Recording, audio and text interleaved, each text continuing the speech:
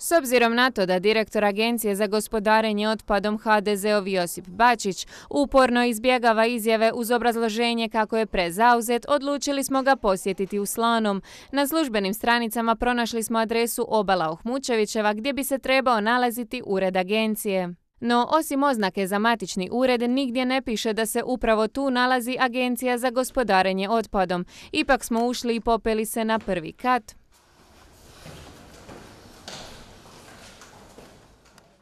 I konačno pronašli ulaz s natpisom Agencija za gospodarenje otpadom.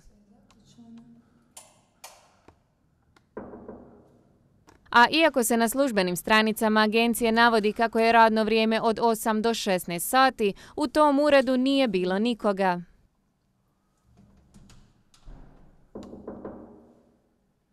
No ono što je zanimljivo jest da se uz ovu adresu na službenim stranicama nalaze još dvije adrese agencije. Kao adresa sjedišta navodi se pred dvorom 1 gdje se nalaze i uredi grada Dubrovnika, dok je adresa poslovanja Trg Ruđera Boškovića 1 što bi trebalo biti u blizini lokacije koju smo mi posjetili. Agenciju se i prije nazivalo fantomskom agencijom jer cijelo jedno desetljeće od osnivanja nije imala znatnih napredaka, no postavlja se pitanje zašto jedna agencija djeluje je na čak tri adrese, te gdje zaposleni točno rade.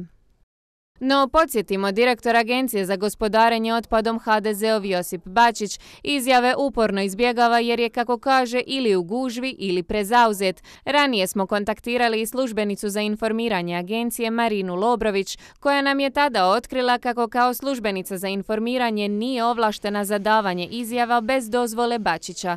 Lobrović je inače na funkciju službenice za informiranje koja ne daje izjave bez odobrenja direktora koji također ne daje izjave, došla još u prosincu 2020. prema odluci koju je potpisao sam Bačić. Zašto je zaposlena kao službenica za informiranje ako nije ovlaštena za davanje informacija i je li došla preko natječaja, pitali smo samu agenciju za gospodarenje otpadom.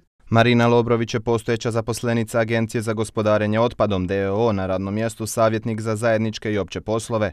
Internim aktom društva ista je sukladno zakonu o pravu na pristup informacijama imenovana za službenicu za informiranje. Za imenovanje službenika za informiranje sukladno navedenom zakonu nije propisano raspisivanje natječaja no nema konkretnog odgovora koji je točan opis posla službenice za informiranje, osim što je, kako dodaju, mjerodavna za rješavanje ostvarivanja prava na pristup informacijama.